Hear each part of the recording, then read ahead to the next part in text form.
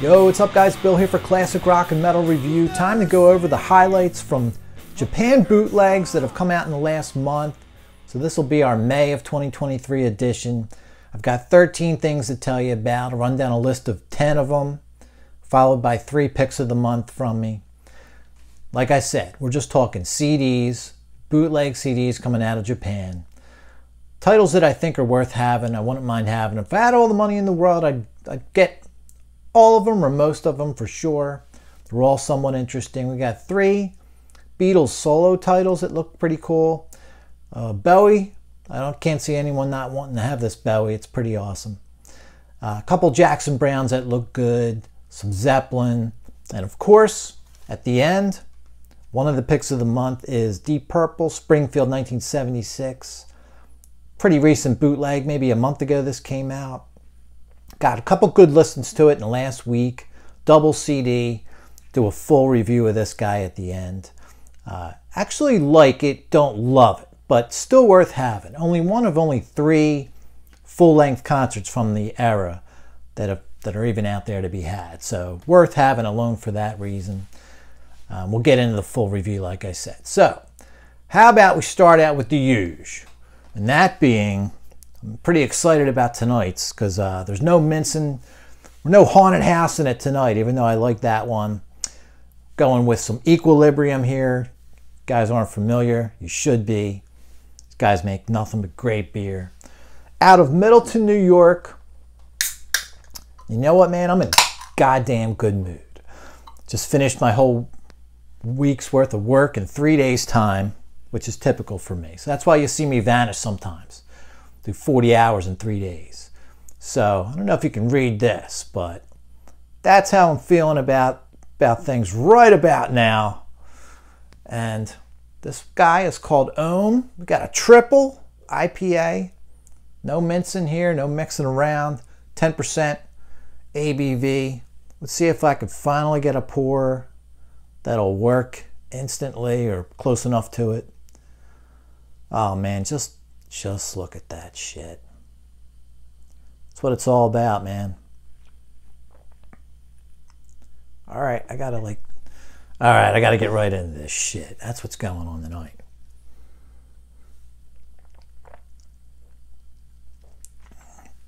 You know what, guys?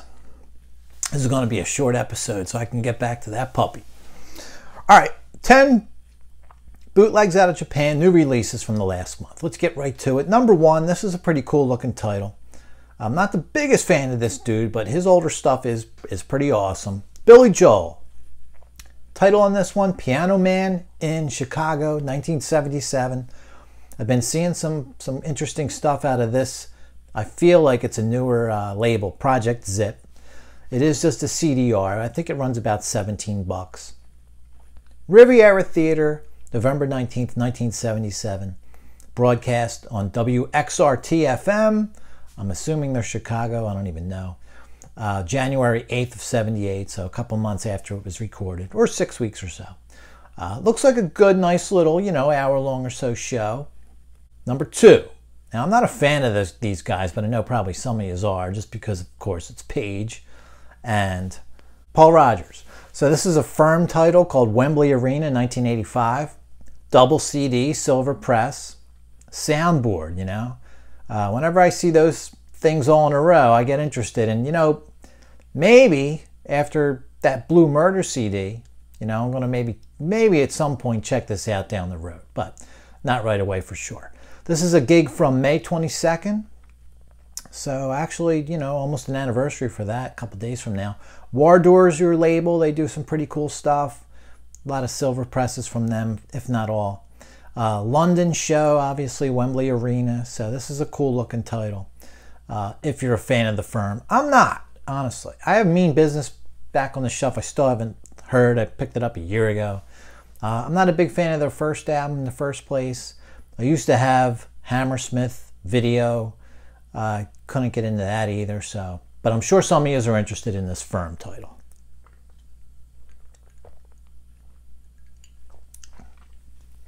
Ah, yes. Equilibrium has not been in my life enough lately. Here's a kind of cool title from the police. It's called The Derangements Unreleased Remixes, again from the Project Zip label. Seven songs remixed or reinterpreted, you know, by Stewart Copeland. Uh, the description that comes with the CD, it's printed right on the back label there. Word is they were to be used as bonus tracks on police reissues, but also done around the time of Stewart's documentary on the police called Everyone Stares, which I think goes back to 2006.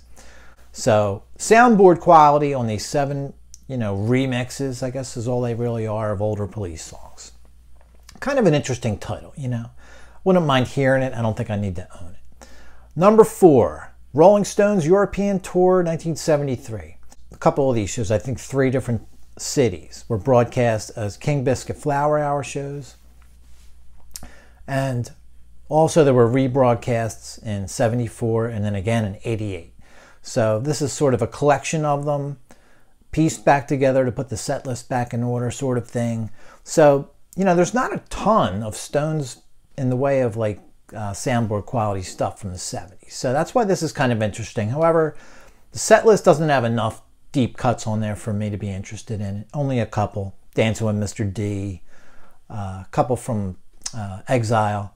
Number five, this is a cool looking title. David Bowie, it's called Bowieing Out. I guess it's supposed to be a play on words for bowing out. Final Ziggy Stardust show. The label here is called The Archives Unlimited. Comes with an Obi. It's two CDs, silver presses.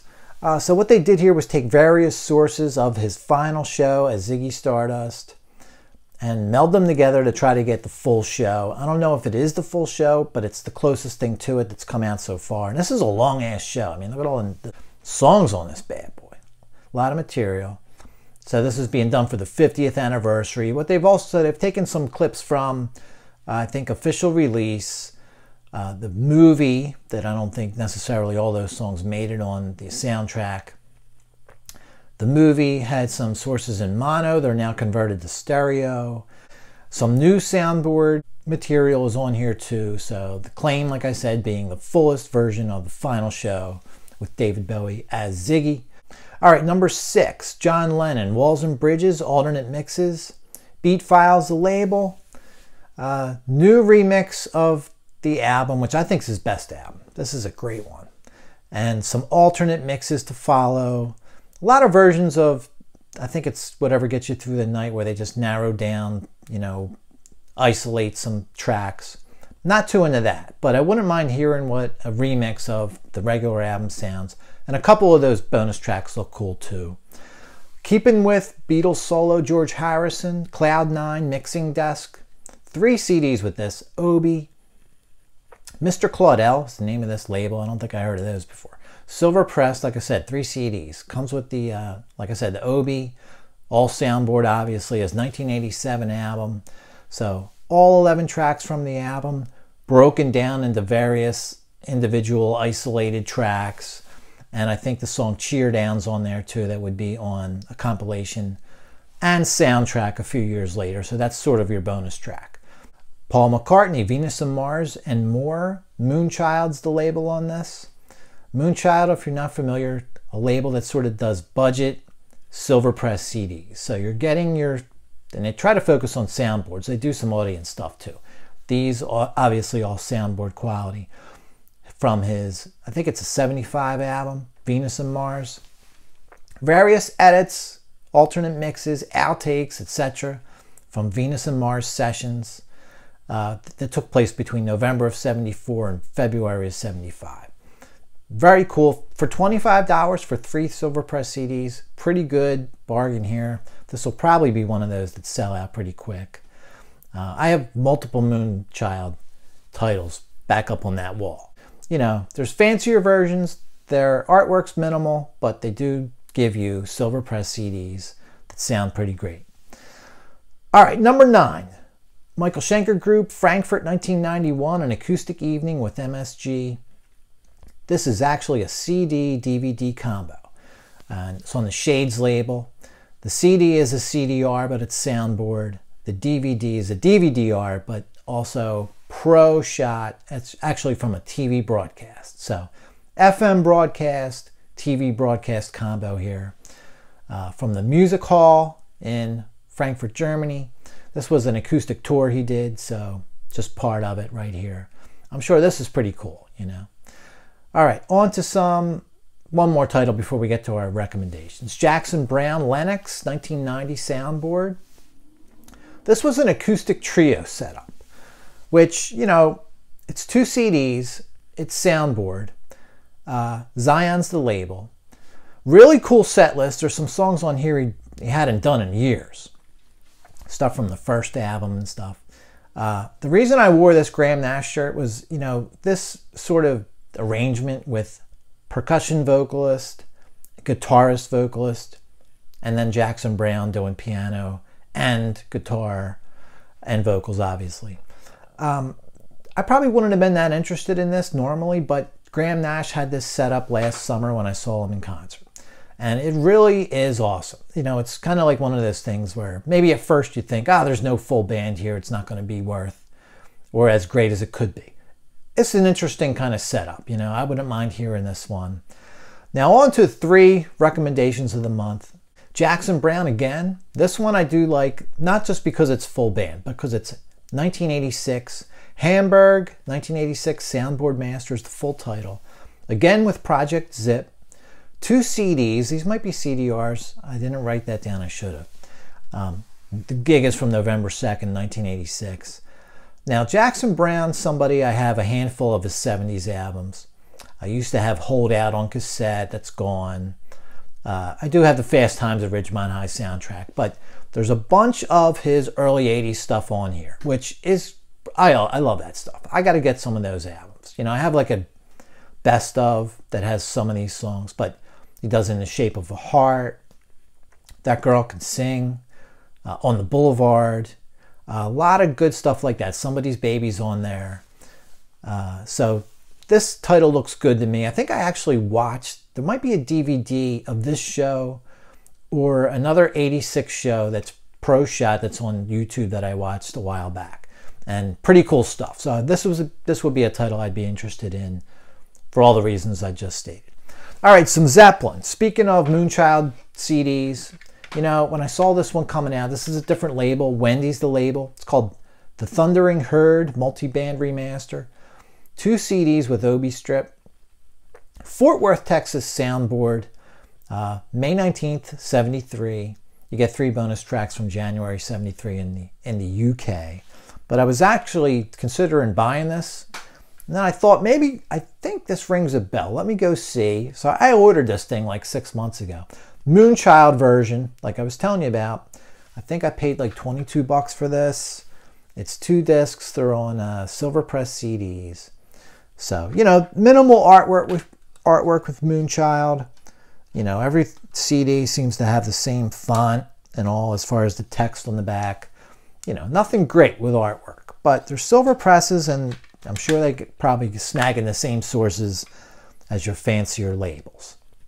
But, you know, if I didn't have this already, this, this Wendy label release looks pretty awesome.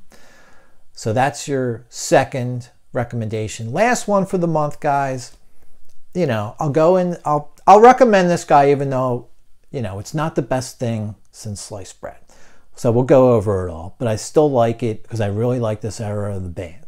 Deep Purple, Springfield 1976, double CD, Let's do some review action and then we'll get ourselves into all the artwork. But here's a little sneak peek on the inside of what you're going to be looking at.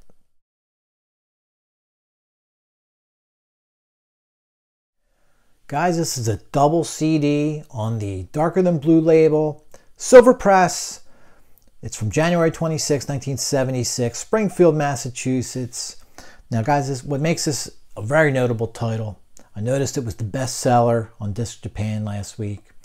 Third, it's only the third full length album, live album from the Tommy Bolin era, which of course is 75 to 76. Long Beach, California, King Biscuit Flower Hour, that's one of the shows. Tokyo 75, which on CD was called This Time Around. First came out on vinyl, there it is back there. Last concert in Japan. 10 songs on this guy, and I think the CD was the full show. Now, the California Long Beach show had three bonus tracks from here. So they were they've been out for years, so there's always been speculation that this whole show existed and finally we get it. Soundboard quality and all. So that's pretty cool. Let's just backtrack a little bit and talk about purple. How do we get to Mark IV?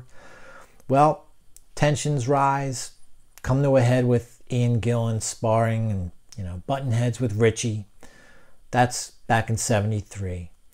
The Who Do We Think We Are album, I think, is pretty pretty pedestrian. The tour reviews from that pretty much the same. So by 74, Gillan and Roger, Roger Glover leave the band. David Coverdale comes in on vocals. Glenn Hughes also vocals, but he also plays bass. He's from Trapeze. Coverdale was an unknown from, you know, unsigned uh, band, you know. So they do the Burn album. Of course, that sort of reestablishes the band. Some people think Burn's their best, you know. The Cal Jam performance which I think was one of Coverdale's first, is amazing. You know, I think it's one of the best concert videos out there. That's also April of 74. Uh, later in 74, the band does another album. Now, this one, uh, you get less Blackmore input, more input by Coverdale and Hughes. And Blackmore wasn't totally into it. They do the album together, though, Stormbringer. Great title track. A lot of the other rest of the record, you can pretty much say, is sort of like soulful rock, maybe some blues in there with Ritchie's playing, but it's kind of like a soul rock record in a way. Um, not for Ritchie, so he leaves after that after that tour in 75.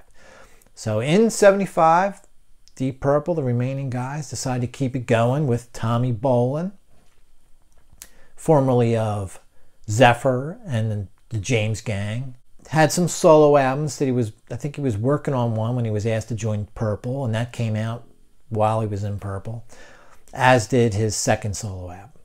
The solo albums are kind of like jazz fusion, some rock, some blues, but jazz fusion he kind of is known for. So, guys, I want to tell you a little bit, you know, how I got into this era, which really wasn't until fairly recently, maybe 10 years ago. I had a uh, VHS back in the 90s, like 91, I think when it came out. Heavy Metal Pioneers. It was just a documentary, one hour you could buy on video that covered the whole, whole history of the band. And they really brushed over the whole Mark IV era, you know. So that always was stuck in my head like, I need to know more about that era. I was interested in knowing more at some point. So I came across this guy about 10 years ago, 10, 11 years ago just happened to come out right as I was, you know, cruising through a record store. Phoenix Rising, it's called. It is a DVD, full length documentary, 80 minutes, that focuses just pretty much only on the Mark IV era. So 75 to 76 era. They brush over what I just told you about Ritchie leaving and Stormbringer and stuff like that. So it kind of just focuses really on Tommy Bolin's era of the band, which is really cool. Guys, this is hands down my favorite rock documentary of all time. I've watched it four or five times. Uh, I watched it twice within the first couple weeks I got it. It's so some just such incredible shit went on with this with this band. They actually had a roadie murdered by a foreign government in one of the countries they went to play a concert in. And to make matters worse, they were kind of held hostage to play another show before they left the country that they weren't paid for I mean, it was just crazy. They went on to play a gig with Tommy Bolin, who unfortunately had some drug issues, as most of you already know. And he slept on his arm for like an eight or 10 hour flight to Japan. They played the show. Unfortunately, that was videotaped. You know, it's that 30 minute concert called Rises Over Japan is part of this uh, video. And, you know, it's just hard to watch a guitar player who can't really play guitar on stage. Um, but that's just another one of the crazy things that happen on here. But so if you want to know about this era of the band, this is the video. I mean, it's mostly just Jon Lord and Glenn Hughes being interviewed, but there's some older interview clips of Paice, Bolin, and Coverdale from the era. Uh, sort of describing how crazy shit got. Unfortunately, the drug use also with Glenn Hughes became like a cocaine addict at the time, and he fully admits it right here on this, you know, this video. Now, Jon Lord's on this video saying that you know, even though a lot of a lot of guys did drugs and whatever else back then, that there weren't very many people that took it to, to the stage. Glenn Hughes was one of them, and Tommy Bolin another. We got to see the video evidence on Rises Over Japan video, obviously, but unfortunately, I think I can only assume we're hearing it again here, you know, unfortunately. Because one of the reasons when I got this that I really wanted to hear it was the only concert stuff I have uh, or was super familiar with was the Rises Over Japan video from watching this thing like five times. And, you know, it was like, oh, good, I can't wait to see what, it's, what he's like. I've heard so much about Tommy Bolin. I can't wait to hear him without a numb hand, you know? So, that just sets you up for how I went into this CD. Guys, so much of this show can just be described the same way that it's really pointless to critique each song. All right, so I'm just going to give you an overall sort of uh, critique, I guess, review. The overall sounds really good. It's soundboard, like I mentioned. There's like one quick tape pause somewhere along the way, I forget, but it's super quick. It only sounds like a second or two were missed. The intro can be a little rough into the beginning of Burn. There's a little like that tape warble going on for 30 seconds and things settle down and then that's not an issue anymore.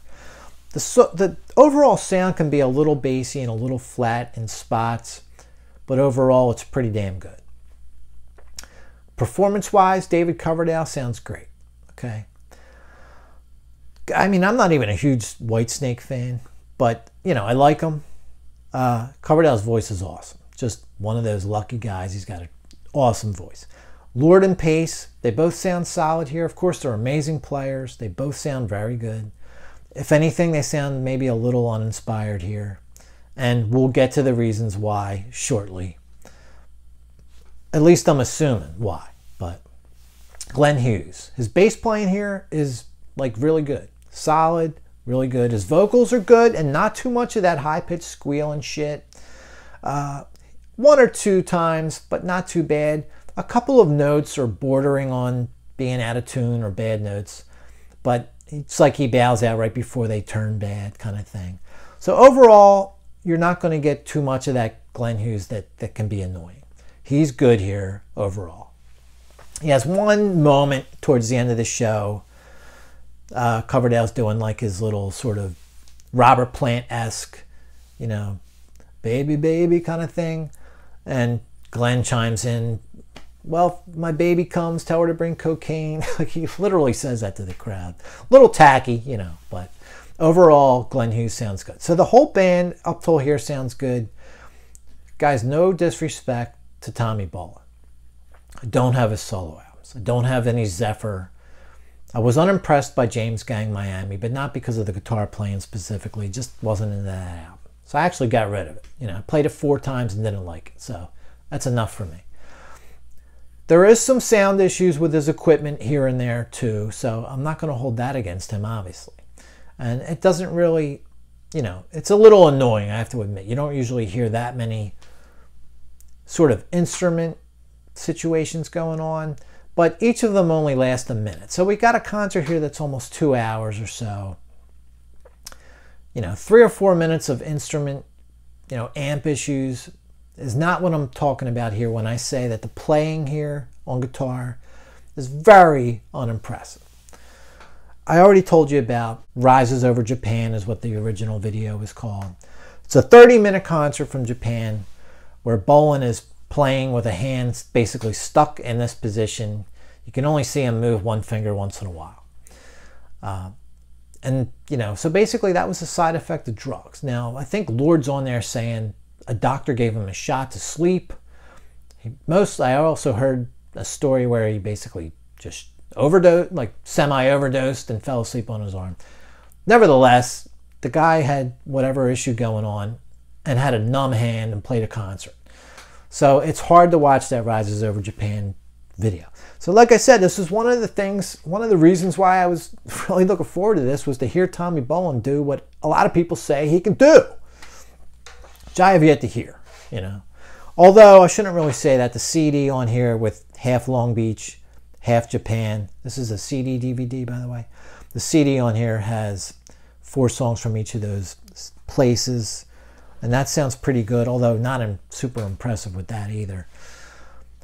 Anyway, it's honestly, the playing on here is, it's almost as bad as that Japan video.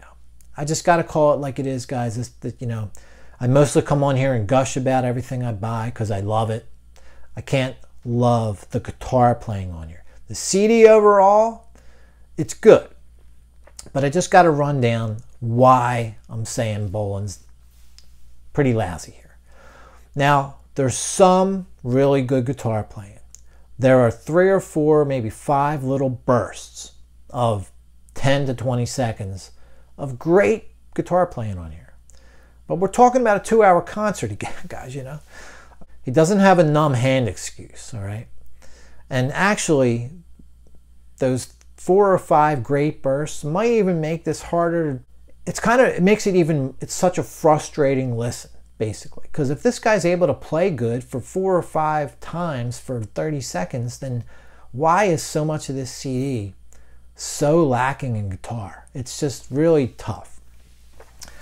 He rarely plays more than even though like i said he has those bursts of great guitar playing he rarely plays more than a handful of notes as a riff. Two or three notes, do do do do, do do do do, do do do, and he just plays them over and over and over and over again, sometimes ten or twenty times. It's like, you know, if you ever heard of, you heard the expression, someone really knows their way around the guitar. Well, this guy doesn't, you know, on this show. He sticks with one riff. It's almost like he can play that riff, so he just stays on that riff because he doesn't want to take a chance of moving his hand. I don't even know how to describe it, guys. Uh, he's badly out of key playing slide guitar in two different spots. His 10 minute solo is the worst I've ever heard in my life. It's, it's four minutes of Star Wars space effects that anyone could do on a guitar with the right pedals. You know, I mean, I'd rather watch Jar Jar Binks play guitar than this, okay? And once he's done the space effects, it's a lot of silence. Then he's trying to play slide again and it's out of key.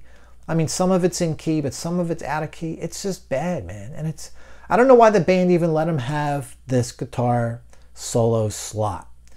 Or they, at the very least, should have judged whether he was on that night and just removed the solo if he wasn't. I mean, this is all hindsight and conjecture on my part. I know, but I just got to call the performance like it is. Uh, I really haven't heard, I don't think ever heard such a bad guitar performance in my life. And that might even include the Japan video that he's on where his hand is numb. It's so bad I need a drink.